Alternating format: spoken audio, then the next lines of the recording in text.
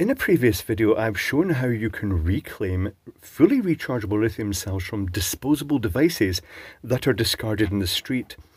Devices that look like a little colourful tube in a wide selection of colours with a mouthpiece on one end. I'd like to tell you what it is, but YouTube just doesn't seem to like stuff like that. Uh, but anyway, it produces a cloud of fog when you inhale on it, and uh, it's got fruity flavours. And when you finish with it, a lot of people just throw it on the ground because that's the sort of thing that they used to do with their previous version of this. And this means that when you see these lying on the ground, preferably not run over by cars and oval, don't don't pick them up if they've been crushed. Or if they've been wet, you may see the end glowing blue if moisture's in because the little sensor in the end that detects airflow is very prone to picking that up, uh, to getting uh, water in it and then just triggering all the time. But it has protection against that, but you'll often see it glowing blue. That's kind of a good thing and a bad thing. Uh, if it's been wet too long, the battery can be drained too low just by water ingress.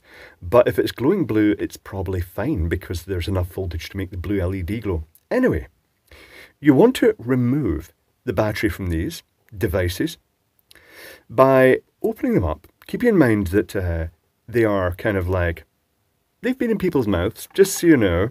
But then again, so have cups and glasses and pubs and bars and cafes. And you want to take a solder iron and you'll find that there's little tabs in the end that you can desolder the wires from and you can take the cell out. Now there's a variety of different cells. Some are just plain like this.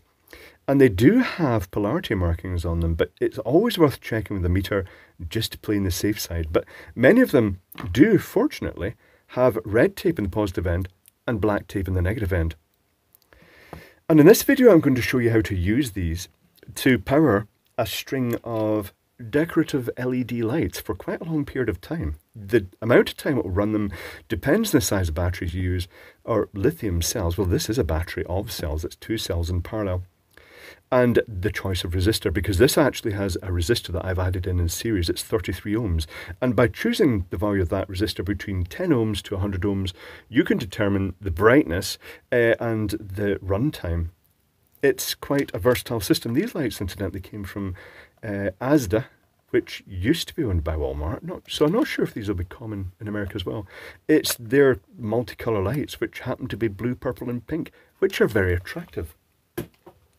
Now for this project, it does involve working with lithium cells, so I do have my explosion containment pie dish on hand. This is just a metal dish that if things go horribly wrong, you can throw uh, flaming batteries in it just because you know lithium cells are an energy storage device.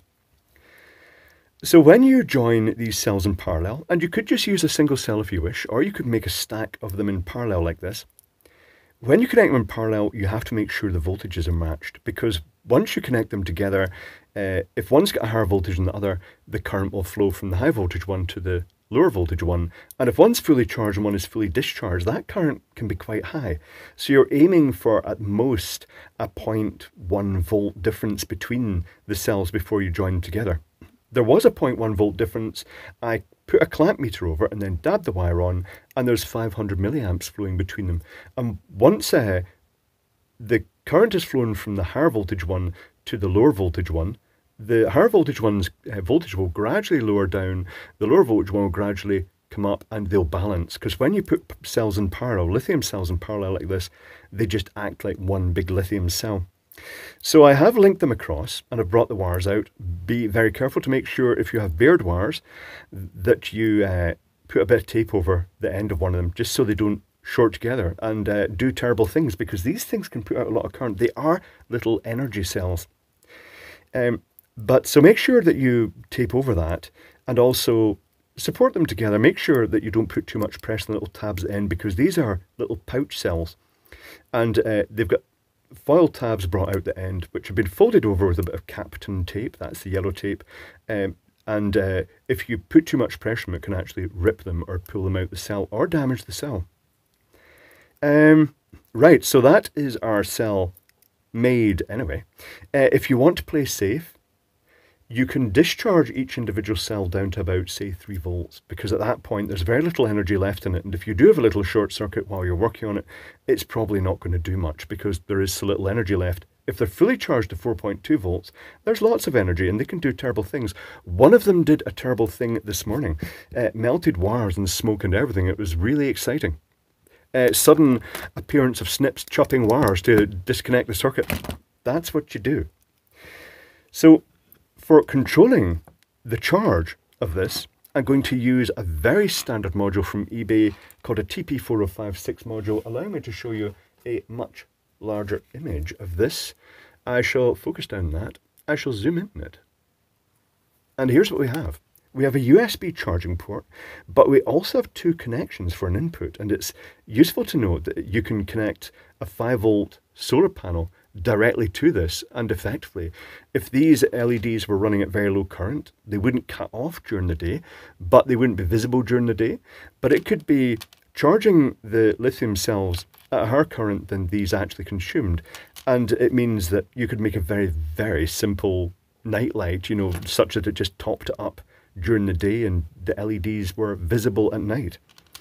But you can connect a 5 volt cell to these connections or a USB port. You get two versions of this. You get the, well, I think you get three versions. You get mini, uh, micro, and the USB-C versions of this. But this is a, um, this one is a micro USB because that's what most of my leads are here. It's using the TP, TP4056 chip. This, you can program this chip with a resistor to limit the current. I'm not changing the resistor this time because it's preset in these modules for 1 amp. I've got two of these 550 milliamp hour cells together. So one amp is absolutely fine for charging these. If you wanted to change it, you can change the value of this resistor, which is uh, 100, 1.2k at the moment, 1, 2 and 2 zeros. That's kind of, it's mounted upside down. Uh, but you can change the value. There's a data sheet for the TP4056 that shows the resistor values and the currents. There are two LEDs, red and green, with a 1k resistor each. There's a couple of decoupling capacitors just for stability of operation. And then this module has the extra protection. I do recommend this extra protection. It protects against overvoltage. I mean, this should cut off at 4.2 volts, but this provides an extra layer of protection if it goes above that.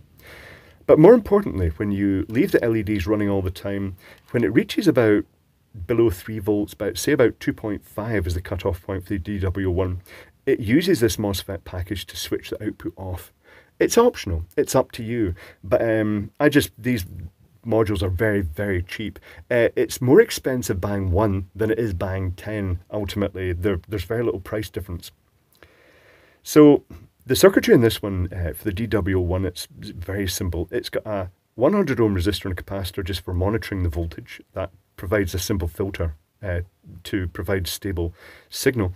And it's also got a 1K resistor that is used to measure the voltage across the MOSFETs. In case you short circuit this thing, uh, if you do the MOSFET, the voltage across the MOSFETs will potentially go quite high, and then the DW01 will cut off. It protects against overcurrent as well. It's a very versatile arrangement. This module is perfect for this. So there are four connections in the output, the two battery connections in the inner, battery plus, battery minus, and you've also got output plus, which is actually COM to battery plus, and you've got the output minus via the MOSFET package. So here's what I'm going to do. I'm going to solder the battery across these two terminals. I'm going to solder the output to the LEDs across the two outer terminals, sleeve the whole lot up, and that is theoretically going to be it.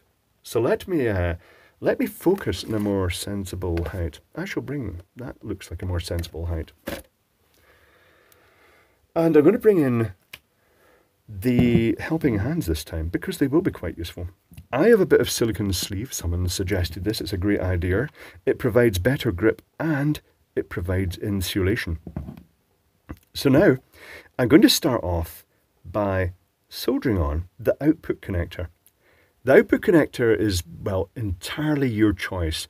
You can get sets of connectors on eBay with pre-work, pre-crimped with tails ready for use. I tend to use this connector. I've just used them for a very long time, so I've stuck with them. So what I'm going to start by doing is flowing some solder onto all four of these terminals on this circuit board. So I've got lead-based solder, and I'm not going to be putting the wires through the circuit board. I'm going to be just soldering them onto these pads almost like surface mount. The reason for that is I don't want spiky solder connections sticking out underneath. So I have now flowed solders onto those connections. And because I, it, it's the other way around from the picture I showed you, the positive is here, the output positive. So I'm going to just flow this connector on here. And the negative is at the other side. The one you don't want to short out when you're putting the battery on is the negative to negative because that does defeat the protection. Here is my little battery pack. And now I'm going to, I'm going to fold these back the way I think. What's the best way to do this? Yeah, that's, I'm going to fold those back out the way like that. And I'm going to solder the negative connection of the battery pack on first carefully here. Keep in mind that as soon as you've connected the other connection, that is very hot. That is a plated through hole. That was Bernie Bernie. As soon as you've uh, pulled this cover off here, we now have an active exposed electrical connections and the circuitry is active as well. So make sure you do have insulation in the, uh, the grips there so you don't uh, short anything out. But this is now going on here. And that is more or less it.